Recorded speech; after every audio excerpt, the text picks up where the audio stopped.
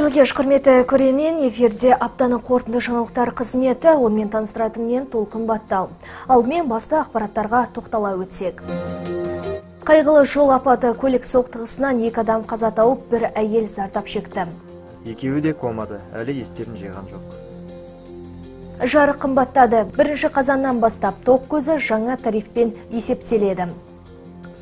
бұл тариф қазіргімен салыстырғанда 22 теңге көтеріледі 35 литр қан балқаштық донорлар осындай мөлшерде қан тапсырды. Менің донор болғаныма екі жыл үшінші рет қан тапсырып тұрмын.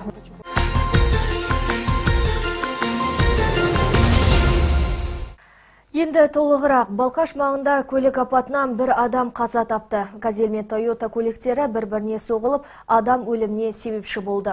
Екі адам ауыр жарақатпен орталық ауруханаға жеткізілді.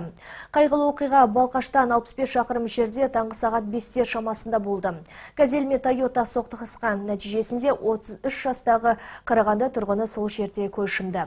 20 жастағы жігіт пен 33 жастағы әйел зардап шегіп ауруханаға жеткізілді. Алайда келесі күні түркістандық ер бала қайтыс болды. Ал әйел адам әлі жан сақты бөлімде жатыр. пострадавших 95 года рождения. 1995 жылғы зардап шегушінің бас сүйегіне зақым келген екінші зардап шегуші 1985 жылғы жағдайы ауыр екеуі де комада әлі естерін жиған жоқ Қалада борышкер атты шара аяқталды нәтижесінде жол ережесін бұзып, айыппұл төлеуден қашып жүрген жүргізушілер жаппай жазаланды. Атап айтқанда, үш көлік иесі 5 күнге уақытша ұстау изоляторына қамалды. 8 азаматқа қатысты әкімшілік хаттама толтырылып, ескі айыппұлдың үстіне тағы да 12 мың теңгеден айыппұл салынды. Ал тіпті 20 балқаштықтың 271 мың теңгеден аса қарызы ай сайын жалақыдан ұсталатын болды. Оған қоса дүние мүліктері тәркіленгендер 2 сағаттың берешектерін өтеді. Жалпы 5 күндік акция аясында ескертуді ескерген жүргізушілер 5 миллион теңгеден аса салынған айыппұлдарын өтеді. Басқа да берешек жүргізушілердің құжаттары сотқа жіберілді.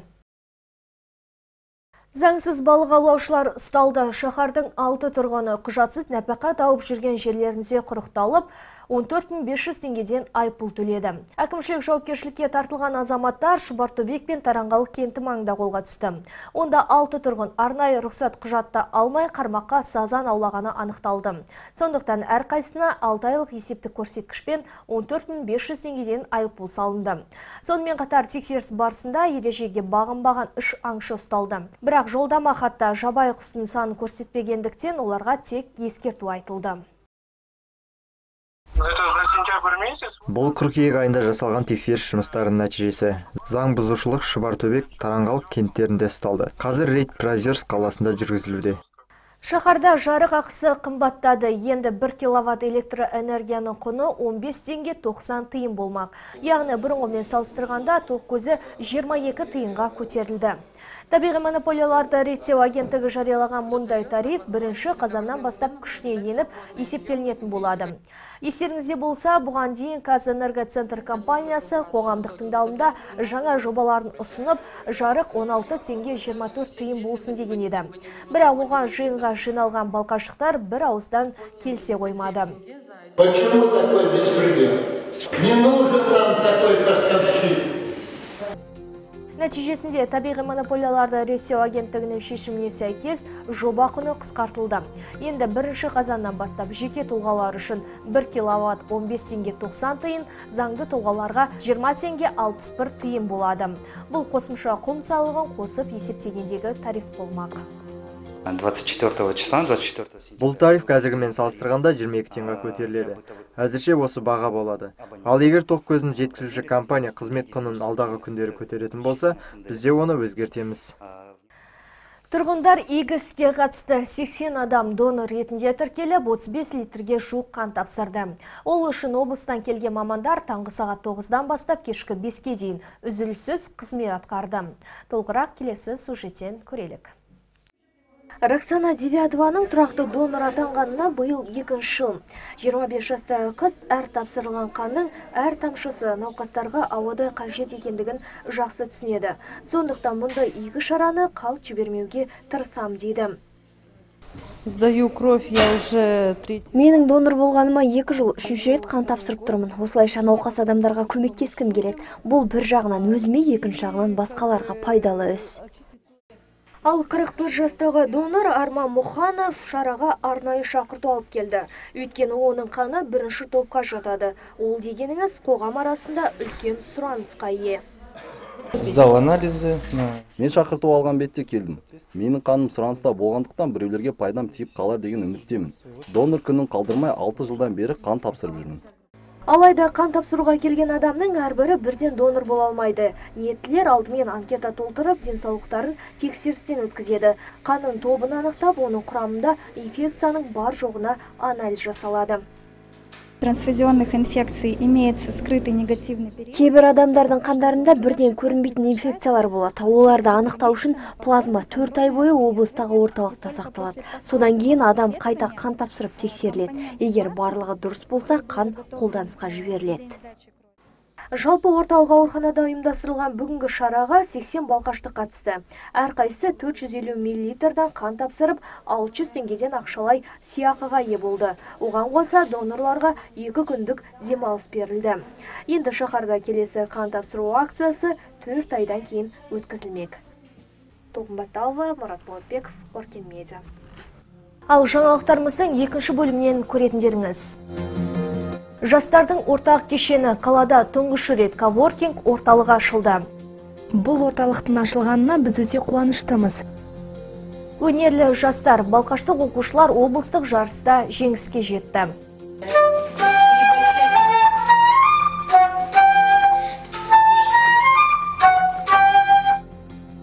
Металлургтер жарады. Қаламыздың футболшылары Қазақстан біріншілігінде екінші орынға жайғасты.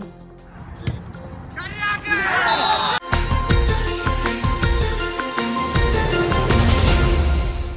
Мүмкіндігі шектеулі тұрғындар компьютер тілін тегін меңгере алады. Ерекше жандар үшін мүгедектер қоғамында информатика кабинеті жұмыс істейді. Кабинет интернет желісіне қосылған 8 компьютермен жабдықталған.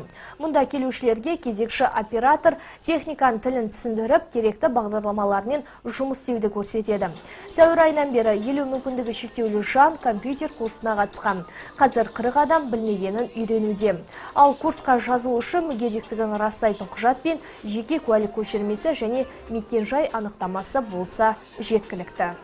Кто-то просматривает клипы. бізде әркім өзінің қызығушылығына қарай түрлі ойындар ойнайды клиптер көреді бала күніне екі рет келе алады компьютер алдында бір сағаттан артық отыруға болмайды бұл ережені қатты ұстанамыз Балқашта тұңғыш рет түрлі жобалар мен жасампаз ойларды жүзеге асыруға арналған алаң ашылды. Мәдениет сарайындағы бұрынғы коммуналды төлем орталығы енді коворкинг орталығына айналды. Жастардың игілігіне берілген нысан жайлы келесі тілші әңгімесінен білелік. Эта программа сегодня формирует ценностную основу единства всего народа Казахстана. Рухани жаңғыру мәдениетанымдық орталығының ашылу салтанаты ашық аспан астында басталды. Ал жылдан ат терлетіп келген 60 құрметті қонақ үшін жастар алдымен өнер көрсетті. 300 студент ұлт пен ұлыс болып сүттей тасыған елді көрініс арқылы ел назарына ұсынды.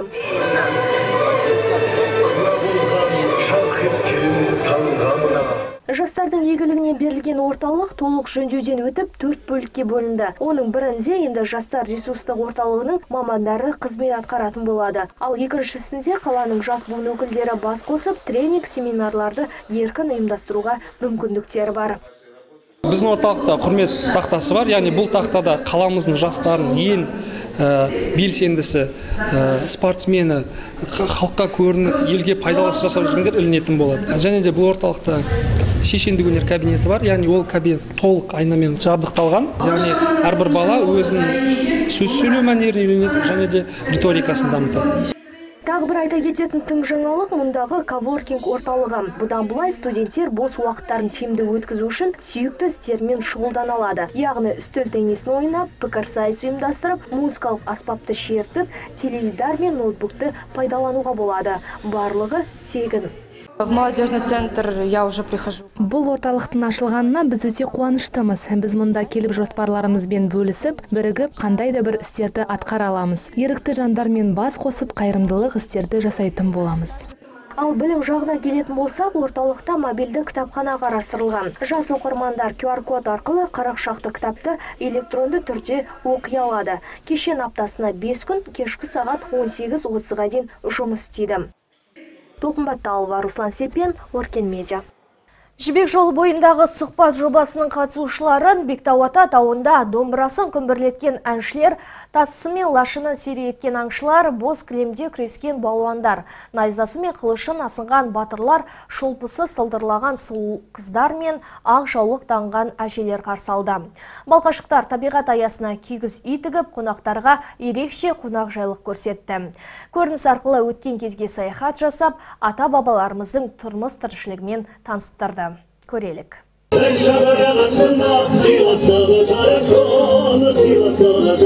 Қазақстан Халық Ассамблеясы атынан келген делегация тобын қазақ ауылы әнмен қарсы алды. Ұлттық киім киген қыздар мен жігіттер ауылдың алты аузын шырқап кең даланы әсем әнге бөледі.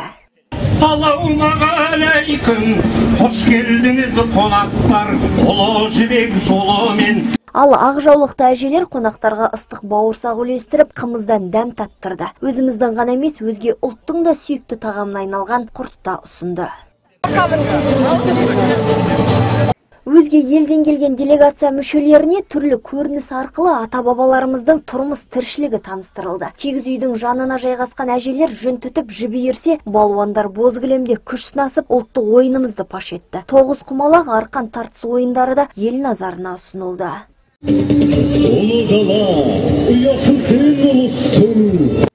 Халықаралық делегация мүшелерін қазақтың саятшылық өнерімен таныстыру үшін Қаскелеңнен құсбегісі шақырылған. 33 жастағы Руслан Абыл аңшылық туризммен айналысады. Соңқар баптап ежелгі ата кәсібін жандандырып жүргеніне 5 жыл болған. Бүгін қонақтарға құсбегілік шоу көрсетті. Бұл сұңқардың ителгі деген түрі. Ителгі қазақта көп қолданыла бермейді. Енді шөлді аймақтың қазақтарында қолданған шығар өйткені шөлді аймақта қоян көп кездеседі қоянға жақсы. Ә, жердегі ілетін сұңқарларға жатады да бұл. Ә, лашын болса мысалы жердегі ілмейді ә, аты ә, сұңқаршын. Ә, лақап аты бар тағы. Жел қызы деген. Жел соқса жоқ болып кетеді Жалпы жібек жолы Қытайдан бастау алған сауда жолы шамамен осыдан 3-4 мың жыл бұрын хан патшалығы кезінде өркендей бастаған. Керуен жолымен бүгінгі Қазақстан территориясына негізінен жібек маталар әкелінген. Сауда айналымы артып, керуен қатары өскен сайын жолдың бағыты да өзгеріп отырған. Бектау ата и озеро Балқаш. Бектау ата Балқаш көлі туралы ежелгі Қытай жазбаларында жазылған. Бұл дегеніміз қытайлық саудагерлер Қытайға осы мекендер жайлы ақпарат жеткізген деген сөз. Яғни олар осы арамен өткен. Жібек жолының бір тармағы осы орталық Қазақстан арқылы өткені белгілі. Жалпы Қазақстан Халық Ассамблеясының ұйымдастыруымен жібек жолы бойындағы сұхбат халықаралық жобасы 2007 жылдан бастап жыл сайын өткізіледі. Жобаның мақсаты орталық Азия өңірі елдері мен халықтарының арасындағы байланысты жаңғыртып, нығаюына ықпал ету. Гүлшат Байтөкешева, Серік Кесебаев, Өркен медиа. Балқаштық музыканттар жылда бір рет өтетін облыстық жарыстан жеңіспен оралды. Өнер мектебінің тәлімгерлері флейтада ойнап, бірі гран-приге ие болса, бірі күміс жүлдегер атанды.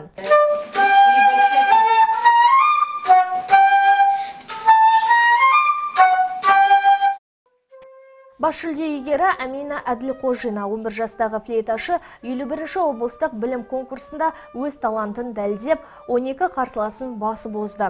Енді ол республикалық сайыста өнер көрсетеді. Қазір қараша айында өтетін үлкен жарысқа дайындалуда. Ал Михаил Третьяков кіші топта өнер көрсетіп, күміс жүлдегер атанды.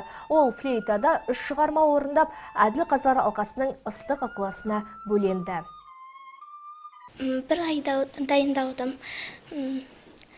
Маған қиын болған жоқ. Мен 12 баланы жеңіп шықтым. Все конечно қарсыластарым барлығы жақсы ойнады. Бірақ қазыларға менің өнерім бәрінен көбірек ұнады. Жарайсың браво деп айқайлады. Балқаштық металлург футбол командасы Қазақстан біріншілігінің А лига ойын кестесінде екінші орында. Бүгінгі күні жерлестеріміздің қоржынында 39 ұпай бар. Соңғы ойын оңтүстік Астанада Алмата клубымен өтті. Онда алматылықтар есепті ашқанмен балғашықтар есе қайтар бүлгөрді. Ойынның екінші таймда қақпаға бірден 5 соққы жіберіп, жерлестеріміз алға шықты. Осылайша 6-да 1 ұпаймен жеңіске жетті. Бұл ойын бізге бірінші таймда бірден нөл есебімен жеңіліп жаттық. Екінші таймда балалар өз жігерлерін салып, алтыда бір есебімен жеңіске жеттік. Енді Алматы командасымен бірінші кезеңде, бірінші айналымда ойнағанда екіде бір есебімен жеңілгенбіз. Енді қазір есесін қайтардық деп ойлаймыз. Ал қазір Қазақстан біріншілігінің А лигадағы футбол ойындарында көш басында БН Қаскелең тобы тұрса, екіде 39 ұпаймен балқашықтар табан тіреді. Үздік үштікте Мерса футбол клубы. Олармен осы жексенбі күні металлургтер кездесетін болады. Бірінші айналымда Мерсадан біз 2-0 есебімен ұтылғанбыз. Енді балалардың дайындығы жақсы, өз бабында.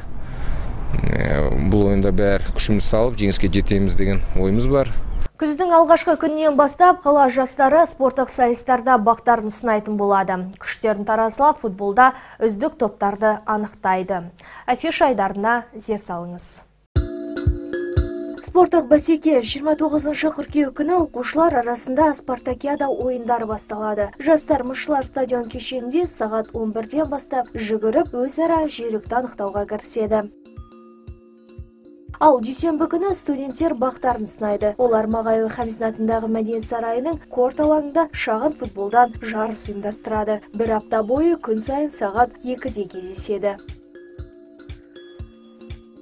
Сондай дәл осы күні оқушы ер балалар көк алаңға шығады. Жеті күн бойы сағат 2-де нөмір 15 пен нөмір 2 лицейде доп теуіп шағын футболдан бәсекеге түседі.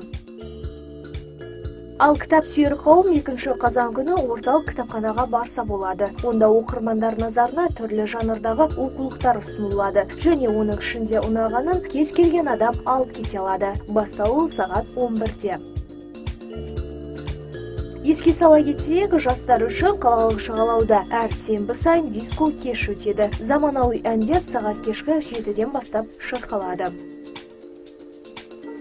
Толқынбаталова, Серік Кесебаев, Оркен Медиа. Астаналық жігіт 10 қабаттан құлаған баланы қағып алып өмірін сақтап қалды. Осы ерлігі арқылы елге танылды. Қазақстанда кейве амиандарына тыйым салыну мүмкін. Қазір бұл мәселе үкіметте талқылануда. Евро 2024 футбол бәсекесінің қай елде өтетіні анықталды. Осы және өзге де ел жаңалықтарына құлақ түрейік. Ер жігіттің ерлігі Астанада 10-шы қабаттан құлаған баланы 9-шы қабаттағы көршісі қағып алды. Анықталғандай анасы 7 жастағы ұлын үйге қамап кеткен. Ал ойнағысы келген бүлдіршін балкон арқылы төмен түспек болады. Алайда қолының әлі құрып төмен қарай құлай жөнеледі. Осы сәтте 9-шы қабатта тұрған Артем баланы қағып алып, оны бір ажалдан құтқарды. Бұл сәтті белгісіз біреулер видеоға түсіріп әлеуметтік желіге жариялаған. Осылайша 28 жастағы астаналық жігіт бір күнде күллі елге танылды тіпті баланы құтқарған үшін астана әкімінен 500 мың теңге алды. Артем бұл ақшаны қайырымдылыққа жұмсамақшы. Елімізде киви амиандарға тыйым салынбақ. Себебі ол арқылы жасырын төлем жасауға болады. Яғни ақша жіберер кезде ол адамның аты жөні құпия болып қалады. Ал ішкі істер министрлігінің мәліметінше есірткі көбінесе интернет арқылы сатылады екен. Бұған тосқауыл қою үшін ішкі істер министрлігі елімізде ғаламтормен жасырын төлем жасауға тыйым салмақ. Яғни киви әмияндарды алып тастауды жоспарлап отыр. Қасымовтың айтуынша қазір 204 мыңнан астам дейін жасырын төлем жасауға заңмен рұқсат етілген. Футболдан 2024 жылғы еуропа чемпионаты германияда өтетін болды. Бұл мемлекет түркиядан үш есе көп дауыс жинады. Сайлау бейсенбіде швейцариядағы нон қаласында уефа атқару комитетінің отырысында өтті. Еуро 2024-ке германия мен түркия үміткер болатын. Атқару комитетінің турнирді германияда өткізуге 12 мүшесі ал түркияға төртеуі ғана дауыс берді. Біреуі қалыс қалды. Жалпы бұл жарысқа уефаға мүше елдердің құрамалары қатысуға құқылы 25 ел алдымен іріктеу жарысына қатысады. Үздік шыққан 24 құрама еуропа чемпионатының финалдық кезеңіне жолдама алады. Қазақстан 2002 жылдан бері уефа мүшесі. Ерекше челлендж. Астаналық полицейлер ерекше челлендж бастады. Үстіне оқ өтпейтін кеудеше киген полиция қызметкерлері экспо 2017 кешен аумағында кеудені жерден көтеру жаттығуын жасады. Тіпті бір полицей мұндай жаттығуды арқасына қыз отырғызып орындады. Бұл сәтті видеоға түсіріп әлеуметтік желіге жариялаған. Олар осылайша салауатты өмір салтын насихаттады. Эстафетаны ары қарай алматылық әріптестеріне жолдады. Ал алматының полицейлері қалыс қалмады. Эстафетаны қабыл алып кеудені жерден көтеру жаттығуын жасады құшат байтөкешова руслан сепен өркен медиа Аптаның қорытынды жаңалықтары осындай, алда орыс тіліндегі ақпараттар қызметі күн сайын кешкі сағат 20.00-де біздің арнамыздан шағала күтіңіздер. Ал егер сіздің елмен бөлісер ақпараттарыңыз болса, біздің редакциямызға 565 74 нөміріне қоңырау шалсаңыздар болады. Мен сіздермен қоштасамын, демалыс күндеріңіз сәтті өтсін.